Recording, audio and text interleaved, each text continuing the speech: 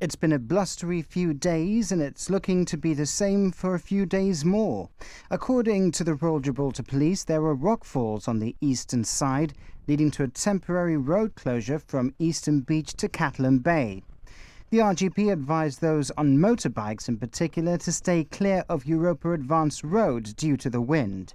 Several airline flights were also diverted due to bad weather over the weekend and into today. As we stand now, um, the, um, the road remains closed. Uh, it will be for another further period of 24 hours. Uh, there have been, I'm told, a few smaller rockfalls, and hence why technical services have decided to keep the uh, road closed uh, and all these signs in place. The road is closed uh, on either side. Uh, what they have uh, in place is a bus and shuttle, which will take you from Monteverde site to Europa Point and vice versa. So, but uh, the road closure for the vehicle and pedestrians is totally closed, and we therefore ask the public not to uh, open the gate, uh, the barriers with themselves, and uh, go against the, the traffic signs. These dramatic photos show the power of those gale force winds with waves crashing into and over Europa Point. Today is probably the worst that we'll see. Things should slowly start to get better over the next couple of days. But the whole reason of, that we've got this stormy weather is that we saw an area of low pressure move down from the northwest uh, to the west of the UK. It came down across Iberia through the weekend and sort of stalled over North Morocco. And it's been sitting there and behind that high pressure then developed behind it across Iberia.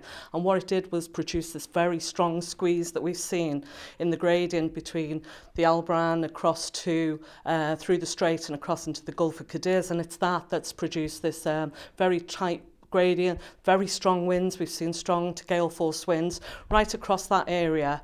Um, and it's not just been that, it's not just been the mean wind, it's been the gustiness to the wind as well.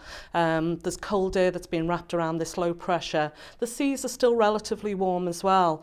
And um, that has produced very, a lot of instability over the area so that we're getting huge gusts. Um, we've seen it on the east side. Today, for instance, we've had gusts up to 52 knots, and that's 96 kilometres an hour. Yesterday, they were up to 91 kilometres an hour. So, as I said, it's been sort of at its strongest through today, and we should see things start to get a little bit better over the next couple of days. MeteoGib says it's not unusual to see winds this strong, maybe a couple of times or so over the winter. On this date last year, for example, we had similar winds of up to 94 kilometers per hour.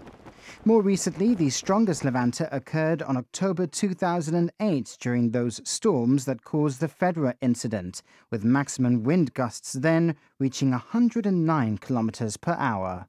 However, this bad spell is expected to pass us by come Thursday, and sunny skies will return.